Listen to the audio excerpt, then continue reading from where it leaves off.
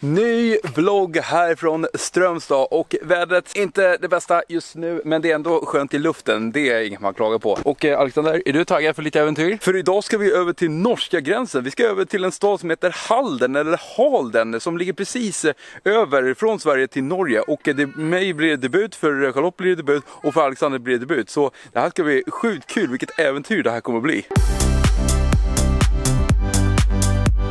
Nu är vi inne i Norge, vilket är helt sjukt. Och nu ska jag ta mitt absolut första steg på norsk mark. Många tror mitt första steg i Norge.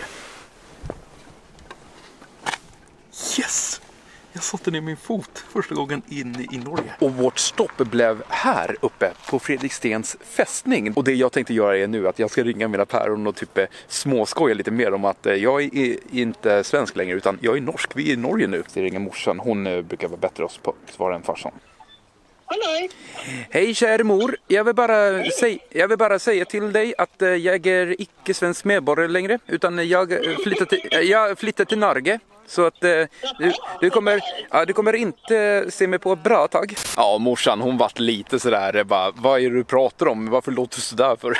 det, det var i alla fall lite roligt att få samtala med henne lite på norska, även fast min norska inte är full, alltså bästa ever. Men eh, man gör så gott man kan och typ smälta sig in lite grann. Men eh, vi tänkte faktiskt rulla vidare nu mot Oslo, för det här är inte tillräckligt. Alltså vi är mer spontanare än vad man tror. Så vi ska nu fortsätta alltså Eh, Eh, till huvudstaden Oslo och eh, se vad som finns där. För eh, mycket mer av Norge vill man ju se.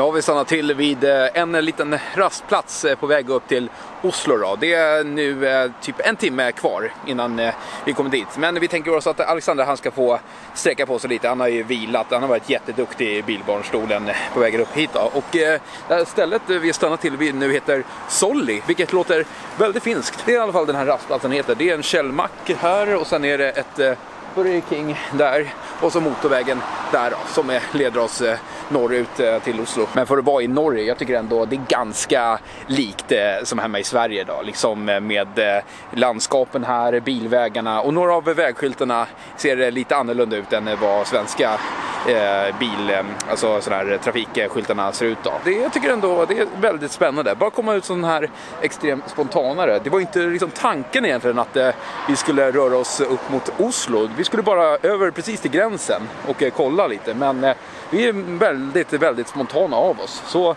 vi vill upptäcka lite mer. Charlotte, vad har du hittat för något då? Jag hittade våfflor med brunost. B vänta, brunost? Ja. Alltså det verkar vara känt i Norge liksom med bruna ostar. Men är det ens någon annorlunda smak på den? Åh, oh, det luktar typ Men då en våffla också. Det verkar vara konstigt. Våffla med ost på. Det låter oh. som en konstig kombination. Men det kan vara en delikatess här i Norge. Varsågod och smaka. Okej, okay, ni ser ju här. Alltså brunost och en våffla. Vi provar väl då. Skål! Alltså jag känner inte så mycket ost. Det smakar bara mest våffla. Ingen höjdare direkt. Alltså mellan 0 till 10 men en eh, trea. Och du då? Smakar mer smör. Mer smör? Mm. Men ditt betyg då?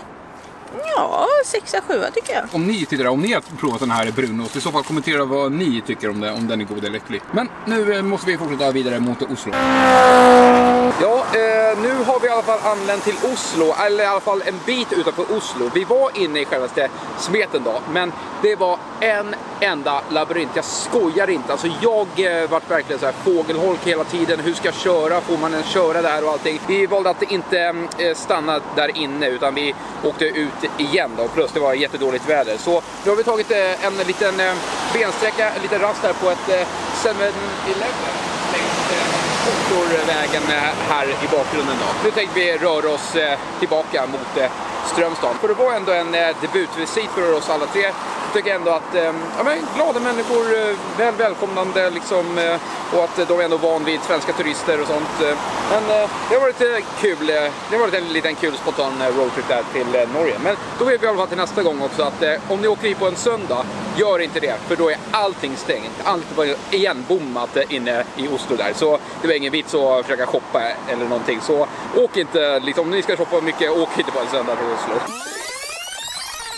Nu är vi tillbaka i Strömstad igen och vilket väder det blev och vi har hela marinan här. Men vi ska gå runt lite här nere i hamnen då och se vad för intressant som finns. Och nu har vi tagit oss ut på en pir här. Där liksom slutar den men eh, den sträcker sig väldigt långt bort ifrån självaste fastlandet då. Och eh, bakgrunden, soligt, skärgården, jätte, jättevackert. Det känns så konstigt faktiskt att eh, för eh, några timmar sedan så var vi liksom inne i Norge och i Oslo och nu alltså är vi tillbaka i Strömstad under en och samma dag. Men eh, det blev betydligt bättre väder här än vad det var inne i Oslo för där bara regnade, det var blött, det var grått och det var inte ens mer än 20 grader.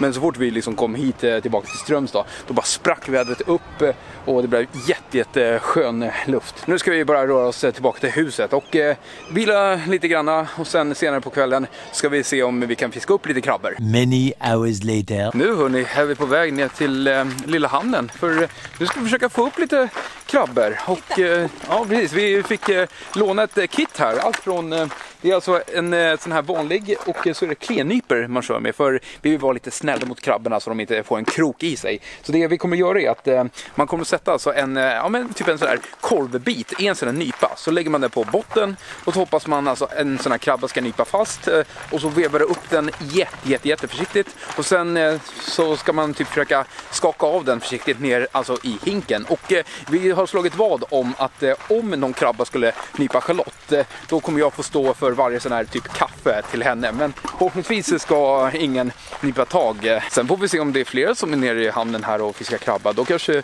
vi kan fråga om eh, lite tips eller hur man typ eh, tar loss eh, en krabba ifrån självaste betet, vad som är enklast. Nu är Charlottes bete redan nere och hon hade lite, lite kontakt med någon krabba däremellan. Den var rätt stor faktiskt. För den måste ju nypa tag i korven. Alltså håller den bara på med munnen, då är den inte fast. Den måste ta ett ordentligt tag med, med sina klor. Då har du den. Ja, men jag...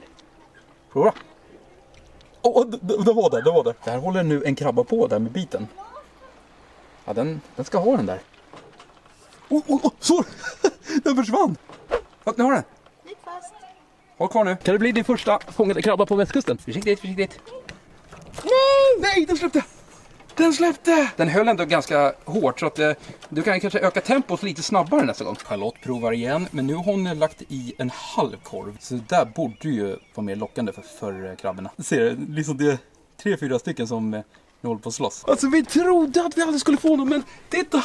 Det är jag som fick den. Charlottes första västkustkrabba. Oj vad den äter. Oj, Ja. kolla vad han sprattlar. Ja, de är snabba. Men eh, den ska få återgå till sin frihet sen. Vi ska se om vi kan fånga lite fler krabbor. Kanske lite större size. Men mycket bra jobbat Amor. Oj, kolla vad jag hittade. Eh, Kolla vad jag fångade.